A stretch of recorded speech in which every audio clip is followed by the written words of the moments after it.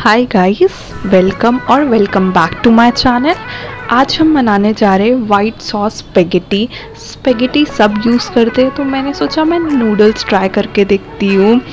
तो सबसे पहले आपको नूडल्स बॉईल कर लेने कर लेने हैं। जैसे नॉर्मली सब करते हैं, बस आपको एक चीज़ का ध्यान रखना है, आपको नूडल्स ब्रेक नहीं करने हैं। और साथ में उसमें वन स्पून ऑयल और आपको थोड़ा सा सॉल्ट डाल लेना है। फिर नूडल्स बॉईल करने के लिए रख दीजिए। फिर अब हम वाइट सॉस इसकी बनाते हैं। सबसे पहले आपको एक पैन और कढ़ाई में हाफ़ स्पून बटर और घी डालना है। उसके बाद मैंने जो गार्लिक्स जो है कद्दूकस किए थे, वो डाल दिया। उसको हिला लीजिए। थोड़ा सा सॉटे होने दीजिए। फिर वन स्पून मैदा लीजिए और वो डालिए। फिर इसे भी अच्छे से हिलाना। कोई लम्ब्स नहीं होना क्रिएट होना चाहिए इसमें। फिर आप देखेंगे कि इसका क्रीमी सा टेक्सचर फॉर्म हो गया है। मैंने थोड़ा सा और मैदा ऐड किया क्योंकि मुझे कम लग रहा था। फिर इसके बाद आप एक ग्लास मिल्क लेंगे और वो धीरे धीरे डालेंगे। मतलब एक साथ में डाल देना धीरे धीरे डालना।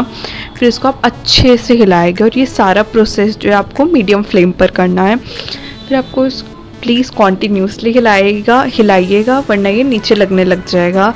तो आप देखेंगे दो तीन मिनट बाद इसमें बॉइल्स आने लग गए फिर आप इसमें चिली फ्लेक्स ऐड कर दीजिए ऑरिगेनो ऐड कर दीजिए और जो भी हर्ब्स आपको पसंद है वो ऐड कर दीजिए। फिर इसके बाद जो है आप सॉल्ट ऐड करना।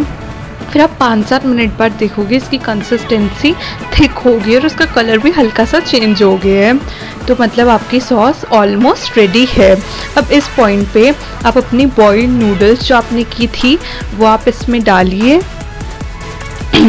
बॉयल नूडल्स जो आपने की थी, वो आप इसमें डालिए और बहुत आराम से हिलाना, वरना आपकी नूडल्स जो है ब्रेक हो जाएगी।